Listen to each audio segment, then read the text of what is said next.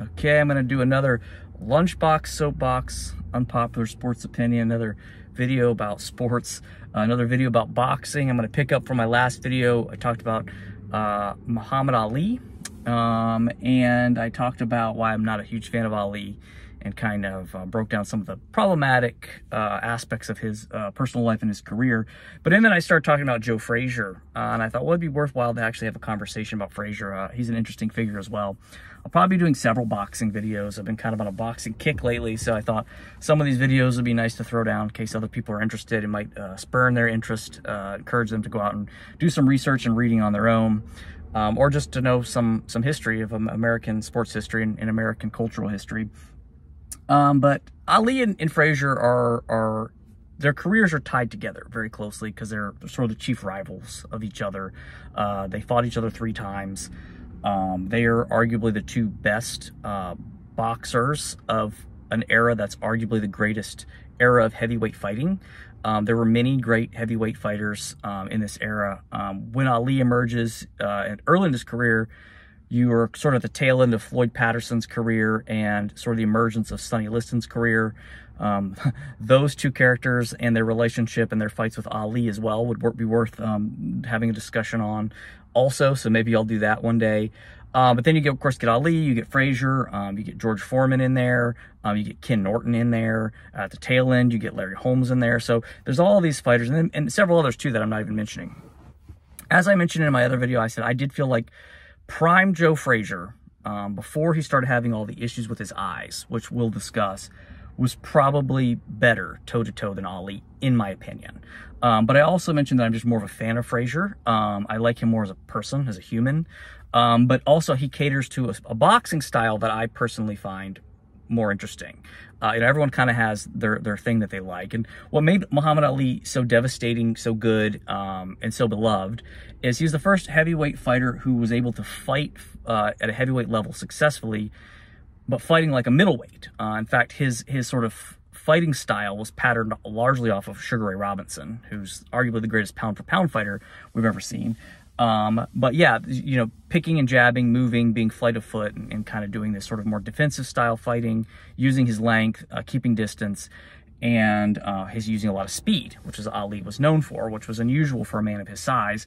Um, but as a result of that, while Ali does lose over the course of his career uh, a few times, um, he is able to sustain a long career because he doesn't take as many hits as, say, someone like Frazier, who's more of a brawler. Um, you know, because Frazier was a shorter man and he was a southpaw, um, he essentially worked by getting inside, and then he would he would you know hit you with that that left hook, and he would drop his guys. It's kind of more of a knockout artist. Whereas Ali would typically try to box you and outpoint you. You know, he would just throw lots of jabs and jabs and pick away at you and win the point battle. And sometimes if he could break you down, he could also knock you out as well.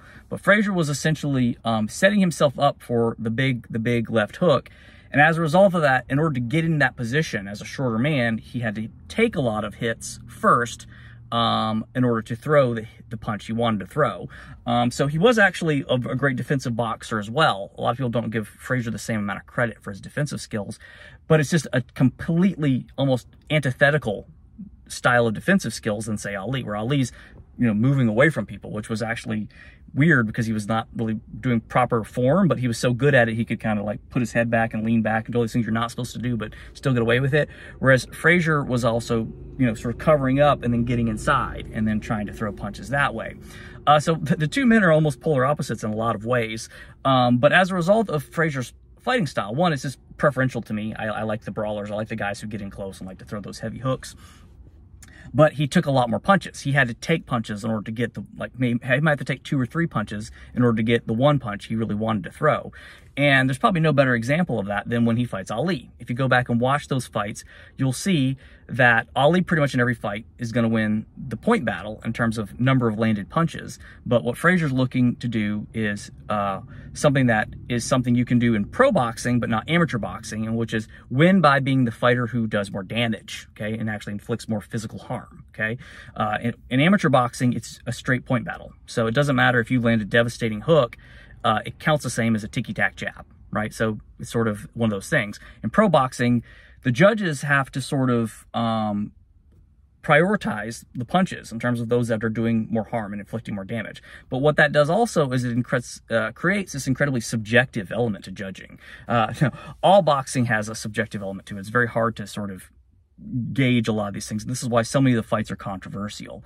Um, just for the record, uh, in the three fights they fight, Frazier wins the first one, um, and he gets a knockout of Ali. And that's probably what gives him the victory in that fight. Um, Ali uh, always claimed he thought he won because he outpointed Frazier, and he probably did. Um, but again, Frazier did much more physical harm and landed a lot more substantial blows. Truthfully, you could kind of say the same thing for the second fight. If you go back and actually watch fight two, uh, I believe Frazier was the more aggressive fighter. Um, I believe he was um, landing more um, devastating punches, but Ali does outpoint him. And the big difference between the second fight and the first fight is, of course, that Frazier never gets a knockdown. Uh, and so the Georges award it to Ali, and, you know, that's fine. Uh, Frazier has his own opinions about it. He talks about it in his autobiography and uh, basically says the same thing that I just said, which is, you know, he thought he did more uh, damage to Ali, that he landed more substantial blows. But, you know, they, they went with the point battle on that fight, probably because they didn't go with the point battle in the first fight. And truthfully, at this point in Ali's career, everyone kind of wants, everyone outside the Frazier camp wants Ali to win and wants him to keep fighting because he's a huge draw. And at this point, he's the most famous name in the sport and arguably one of the most famous people on the planet. So it's good for everyone in boxing for, to keep Ali going. Now, had the judges gone a different way and given that fight to Frazier, let's say, for whatever reason, uh, you know, well, then Ali's career is kind of dead in the water. Because what that would mean is the guy who claims to be the greatest and, you know, all this kind of stuff couldn't even get past, you know, his biggest rival. Um, but what it ends up setting up is, of course, the rubber match, the third fight, which comes some years later. Um, and at that point in time, Frazier's eyes have diminished to such a degree that eventually, at the end of the fight, his trainer, Eddie Futch, has to throw in the towel. Now, what we've since learned about Frazier is that he had eye problems throughout his entire career.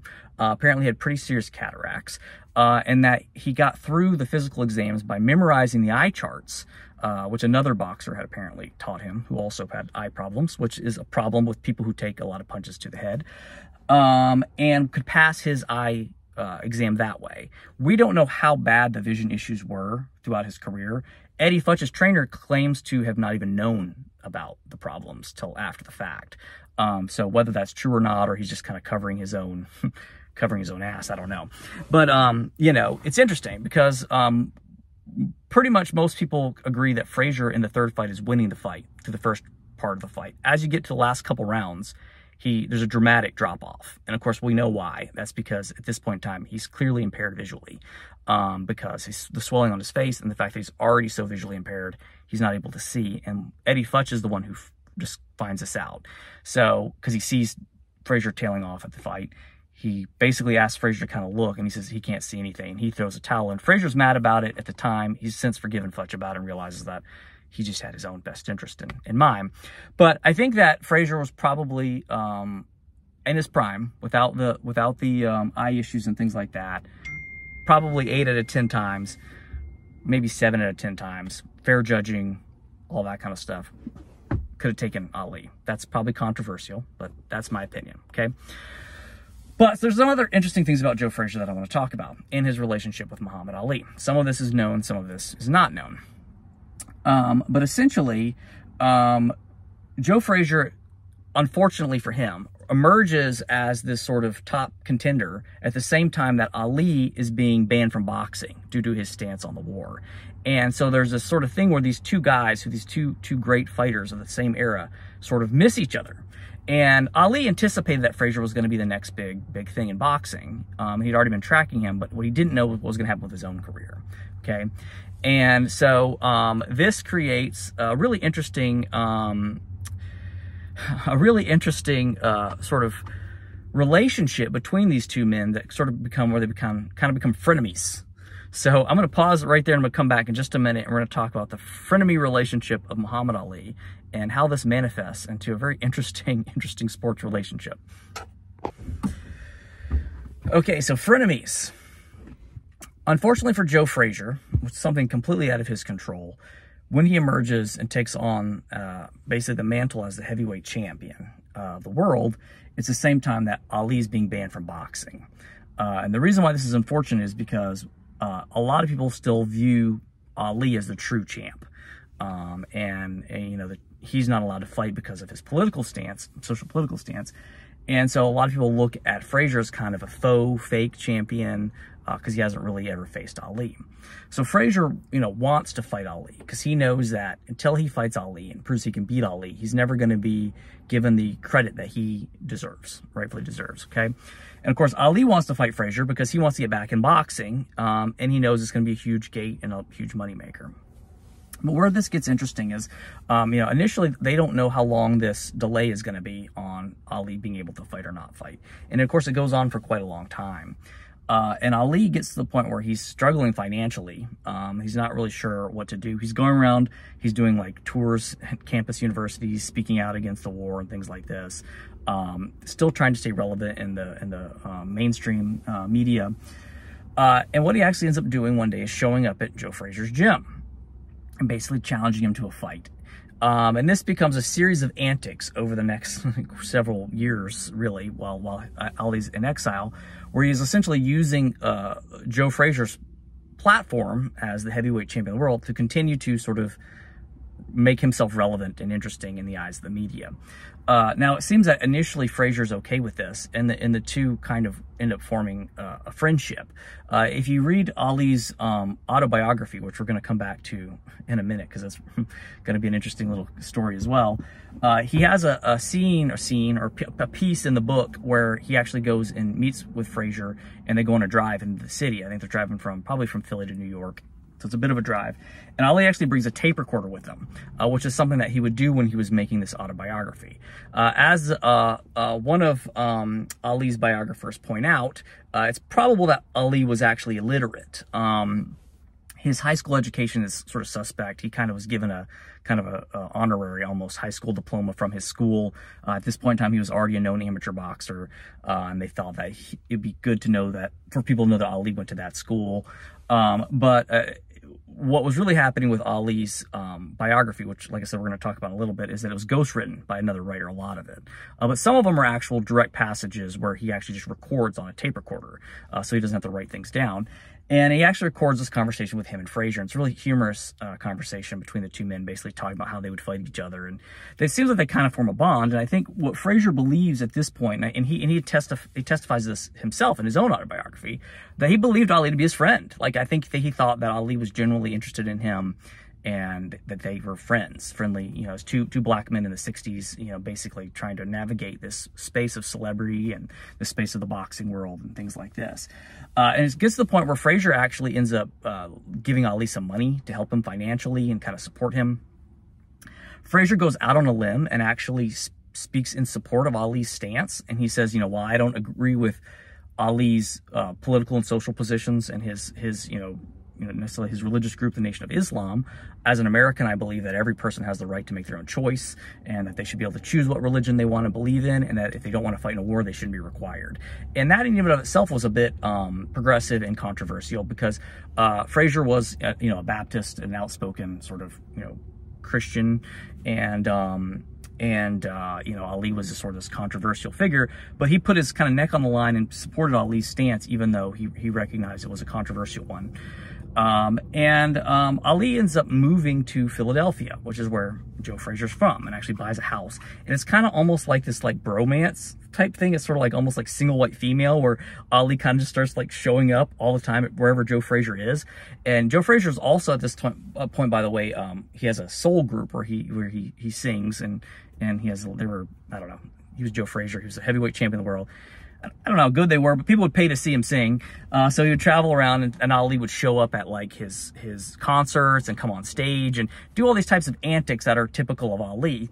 Uh, and it starts to get on the, the nerves of Frazier because Frazier was a pretty quiet man. Um, he didn't really mind Ali kind of having the limelight because it sort of allowed him to sort of be a little bit more reserved. But things really come to a head when finally Ali is given permission to return to boxing. And of course, the first fight, uh, major fight that they want him to have is the fight against is the fight against Frazier. Uh, he does do some tune-up fights, which is relevant because one of the things that people like to claim with Ali is, well, he'd been in exile. So, you know, that first fight, maybe he wasn't in his prime or whatever, which is an interesting argument as well. But does a couple tune-up fights before he fights Frazier. But once Frazier and Ali, the official fight is on, Ali's relationship or his, his attitude toward Frazier completely changes and he turns on Frazier and he starts claiming that he's an Uncle Tom. He starts calling him a gorilla and he starts doing all this kind of stuff. And this really bothers Frazier because Frazier thought they were friends. Um, but it's also really putting a negative image of Frazier in the press. And it's starting to affect his family because Frazier's a family man. He's got sons. In fact, his son Marvin uh, Frazier ends up being a heavyweight fighter himself. He fights Mike Tyson uh, years later when Tyson's in his prime. Um, and his his kids start getting bullied at school, and then he starts being kind of ridiculed by the black community. And none of this is true. Uh, um, and Ali knows that. In fact, in his autobiography, Ali's autobiography, he talks about how he actually pursued Frazier, pursued the relationship with Frazier because he wasn't a quote unquote Uncle Tom. He was a progressive, you know, modern black man. Um, and that's why he felt like they could be friends. But once the limelight's back on, the fight's on, he changes the story. Now, to be fair, some of this, it seems, was sort of colluded by these two men behind the scenes. That they, what Ali always knew was that um, controversy sells tickets.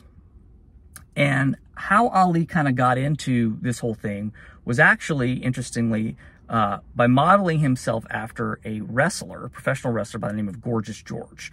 Ali saw Gorgeous George at a wrestling match and thought it was hilarious, but ingenious. Because what he learned about Gorgeous George was Gorgeous George, by the way, was kind of like the heel. He was like the villain in this professional wrestling circle. And he also sort of played this sort of stereotypical sort of homosexual man. That's why they call them Gorgeous George. And then he would go in and he'd get kind of beat up by these other wrestlers. And people would pay to see Gorgeous George lose because uh, he was the villain. And what Ali learned is that if you uh, love you or hate you, it doesn't matter because if people are buying tickets to your fights, you're making money. Uh, and that's the box office draw. He was an ingenious marketer. So early on his career, Ali never uh, feigned away from or, or hid away from any type of controversy. In fact, he encouraged it. He almost promoted controversy because he thought, well, some people are going to like what I have to say and they're going to come to the fight because they want to see me win. A lot of people are going to hate what I'm going to say, but they're going to come to the fight because they're going to see me lose. Either way, they're both coming to the fight. So some of this stuff with Frazier behind the scenes was probably choreographed, but it's uh, either way, um, Ali took it too far. And, and Frazier finally tried to confront Ali about it, and Ali just wasn't having it. And what Frazier basically uh, says is, which is probably correct, that he feels that Ali was it was always just everything was just a game to Ali, and it was always really always just about himself and that he was always working an angle to just get attention and to sort of promote himself and he would use anything around him to do so. And, and i think frazier was hurt by that. And i think his family was hurt by that. And one of the things that, that Frazier points out, and again, this is just the hypocrisy of Muhammad Ali, is that Muhammad Ali was calling Frazier uh, Uncle Tom when, when, when Joe Frazier's a, a dark-skinned black man uh, living in an urban city uh, who's being trained under Eddie Futch, who's a black trainer. Uh, and he was pretty much a loyalist to those people who brought him up at his early ages and continued to go back to his own neighborhood uh, and things like this, um, where he was from. Um, whereas Ali uh, was essentially, uh, his career started by a, a, a group of white millionaires um, who sort of like sponsor him and pay for him. And then he brings in uh, Angelo Dundee as a, a, white trainer and he surrounds himself with all these sort of people in boxing that are largely white. Um, he saddles up with the white media and he forms his bond with Howard Cosell to help promote his own career.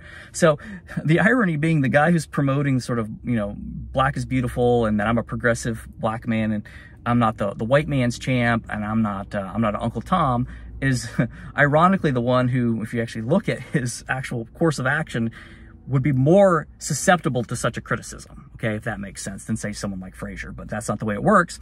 And because Ali's such, at this point in time, uh, a huge icon, the black community sort of takes Ali at his word and then they start to sort of dislike Frazier. And it ends up kind of hurting his career. And I don't think Frazier ever forgave Ali for that. Um, I've talked about in the Ali video how he uses a lot of white supremacist language. He, he refers to uh, Frazier as like a gorilla.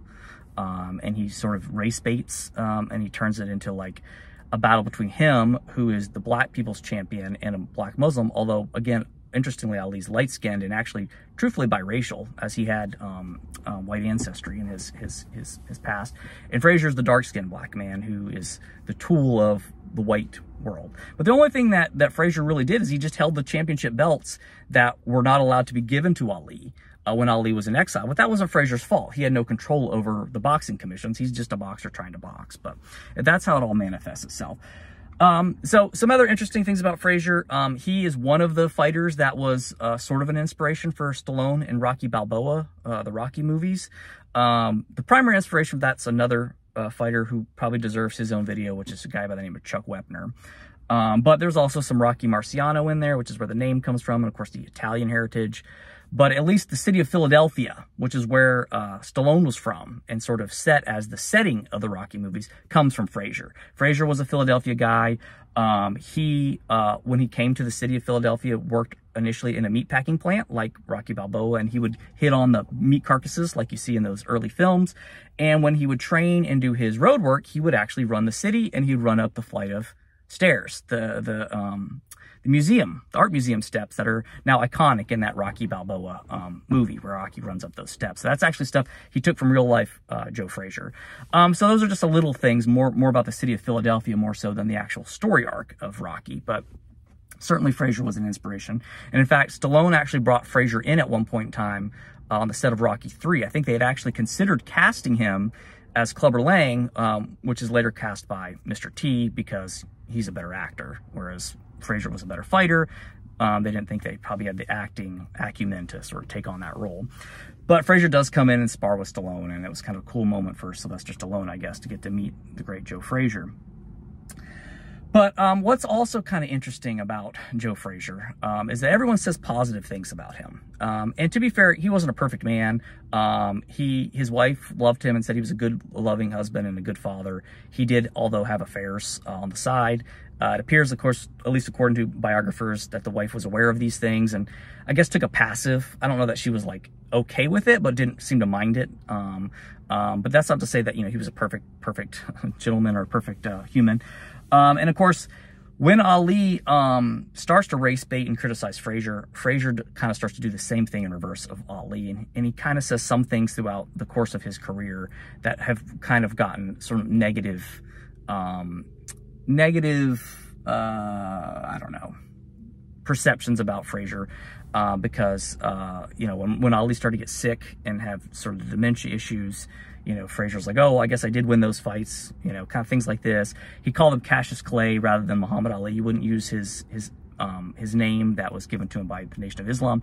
That's actually a whole interesting story itself um, that a lot of people don't know about that, but I'm going to save that for my video on, on Floyd Patterson because a lot of people don't really understand that that was largely manipulated by Ali himself, um, and that he actually himself often referred to himself as Cassius Clay. But we'll talk about more more of that later.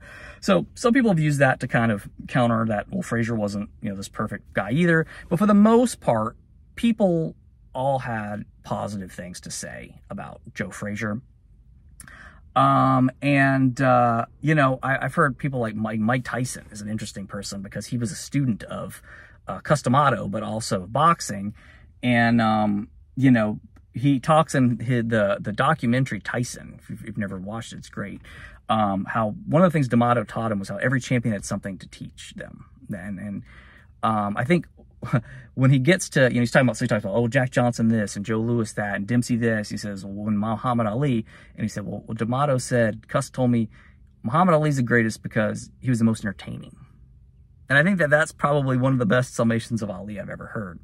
Um, but I also saw Tyson talking about um, when he got to meet Joe Frazier. It was actually on an interview with Howard Stern because Stern brought up the, this conflict between Ali and Tyson, or excuse me, Ali and Frazier, and this sort of him uh, Stern himself saying, well, "I didn't like the way Ali handled this and the race baiting of Frazier and blah blah blah blah." And what was it like when you met Frazier? And um, Tyson only has incredible things to say. He was the most one of the most generous, kind-hearted people I ever met. He just was he was so um, humble. He was just a, such a humble man. Um, and so you listen to what, what people have to say about Frazier, and it's, it's usually very positive. So I'll end on, on, on uh, two interesting stories, okay? One comes from Ali's autobiography, or excuse me, yeah, autobiography, and one comes from uh, Joe Frazier's biography, okay, written by a, a third party, okay? Well, as we'll learn, they both were. so if you read Ali's uh, autobiography, you'll find that there's a couple stories that as you're reading them, they read like almost like bad television. Like like like it's like you're you're, you're reading like a, a CHiPs episode or like a old Dukes of Hazzard episode. Uh, and it's basically the story of ali after he comes back from fighting the olympics and he's got his gold medal and he stops in the south at this diner and he won't get served because he's black. And he's like well i'm muhammad ali and or cassius clay at this time and i just won a gold medal for our country and all i want is to just be able to sit down and eat with the people and and then the, the, the cook or the owner's like no you can't you can't we don't serve your kind here. You got to get out. So they go to leave and when they leave the restaurant they get met by this sort of biker gang of white supremacists. And then the story just unfolds from there and they start being chased on motorcycles and they go over a bridge and there's chains involved and knives and they get in a fight and they catch the leader and his friends got the leader at, at, at knife point and finally they just walk away and it's sort of this battle of the races. And as you're reading it or listening to it, if you're doing it on Audible, because it is available on Audible, uh, it comes off like so catty and, and, you're just like, there's no way this is real. Well, it turns out it wasn't real. The whole thing was fake. Um, as I mentioned earlier, uh, it was a ghostwriter and they brought this guy in and he wrote all these stories and made all this stuff up and it became uh, his autobiography and a lot of people at that point in time didn't know it was all fiction so but i thought well that's a perfect example of muhammad ali this sort of over the top larger than life character, and a lot of it was just smoke and mirrors. It was just fiction, um, but it was entertaining. And, and, it is an entertaining story, um, and it pulls you in, uh, even though it's not true. Well, the other story is one that Joe Frazier's uh, biographer writes about him. Uh, the biography is called Smokin' Joe Frazier. Uh, the author's name eludes me at the moment, so I apologize for that. But he opens by telling this story, which I, I think up till that point no one knew about. And it was just something that he came across when he was interviewing people about Joe Frazier. And it's a Joe Frazier who's older in life. He's retired from boxing. He's still obviously a known name. So he goes around and he has these obligations as sort of a sports figure where he tours and does these whatever, um, probably speaking engagements. And he's come home to his home and he's got his car. His driver uh, is going to take him because he's got to go to this, he's got to drive somewhere, so probably into New York or something, again, like the previous story. And he's like, you know, I haven't had time to spend with my sons uh, for a while. So he asks his, his boys if they would like to travel with him so he can just kind of catch up with them and see how they're doing in life. And at this point in time, they're, they're both grown men themselves. And so like, sure. So they all hop in the car together and off to this little trip. And it turns out to be a really bad, like, ice or snowstorm. And if you know that area, Philadelphia, New York, Jersey, there's a lot of bridges. And so they're having to go over this kind of tumultuous driving scenario where they're going over this bridge and all this ice and snow. And so they're kind of moving slowly. And as they're uh, doing this, Frazier was looking out the window and he sees a man um, who's in a wheelchair and he's carrying something in his lap. And he's basically trying to wheel his wheelchair over this bridge in the middle of this ice storm. And Frazier says, driver, driver, stop the car, stop the car. And, and was there a problem? Yeah, just stop the car. So the driver pulls the car over and Frazier gets out and he's like, you know, excuse me, sir, do you, are you okay? Like, do you need help? And, and the guy's like, oh yeah, no, no, I'm just trying to, I just gotta, he's like, well, let me, let me help you. Let me, let me help you. I can see, um, you know, you you look like you're in trouble here. We can help you out. And he says the, the thing he's carrying his, his lab is actually a can of kerosene. Uh, and the man's crippled, uh, he's in this chair. And it's the middle of the snowstorm. And, the, and, and he said the man was kind of like hesitant. He said, well, do you live nearby? Are you trying to get, can we take you home? And the guy's like, well, yeah. He's like, let me just help you out. So he ends up talking the guy and persuading him to get in the car with them. And he, he, he helps assist the man into the car. He puts the wheelchair in the trunk, takes the kerosene in the trunk. And he's like, well, where do you live? And so the guy's kind of hesitant and reticent to let him know but it ends up they go a couple blocks up the road. And what Frazier realizes is it's a, an abandoned part of the city um, where these sort of old row homes that have been deteriorated and, and left um, uh, are sitting, and that essentially this man is squatting. And that was probably why he didn't want Frazier to know where he was living. He's essentially homeless. Um, um, but Frazier doesn't do anything. He just says, oh, is this where you live? Okay, no problem. Yeah, man, we'll help you out. We'll help you out. And he gets his boys to help him. They get the chair out. And they grab the kerosene and they take him inside. And once they find, uh, once they get inside, they find a family uh, huddled together in the middle of the abandoned home uh, with no heat, um, basically just trying to survive and make it through this this this storm. Um, and so this man, the crippled father in a wheelchair, had basically braved the storm to go to find kerosene to try to, to light a fire to keep his family warm.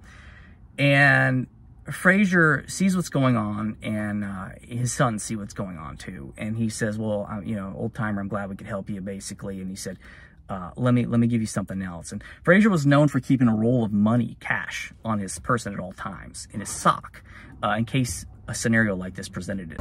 Sorry about that, my phone shut off there. Uh, but essentially, he gives this man some money uh, so he can take care of his family takes his son back, son's back to the car and says, uh, "See that, boys? That's a man. That's a man who's just trying to take care of his family." And uh, yeah, I, th I, think it's a good story uh, as an example of who Joe Frazier was.